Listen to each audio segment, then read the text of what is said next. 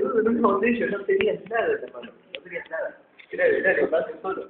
Y bueno, vos lo dejaste en el piso, ¿viste? Bueno, déjenlo acá, ahora, ahora.